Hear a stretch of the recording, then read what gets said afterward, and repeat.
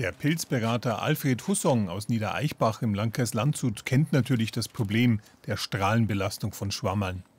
Aufpassen, rät er, sollte man bei den Arten, die Strahlen des Cäsium 137 aufnehmen. Das sind diese drei beliebten Speisepilze.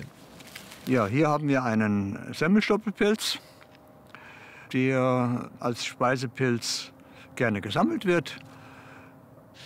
Die zweite Art, die wir heute gesammelt haben, wären die Maronenröhrlinge, die an der Unterseite einen Schwarm haben. Dann hätten wir noch eine dritte Art heute gefunden, äh, die Trompetenpfifferlinge. Die Belastung der Pilze ist aber von Region zu Region unterschiedlich. Der Grenzwert für Wildpilze liegt offiziell bei 600 Becquerel. Hier in dieser Ecke habe ich die schon mal messen lassen, vor acht Jahren. Da war die Belastung bei ca. 300 Becquerel.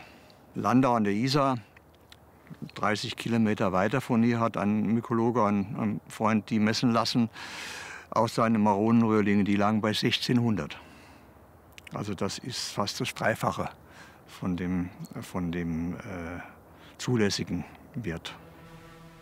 Regen und Wind haben bestimmt, welche Regionen nach dem Reaktorunfall von Tschernobyl besonders viele strahlende Teilchen abbekommen haben, hier rot in der Karte.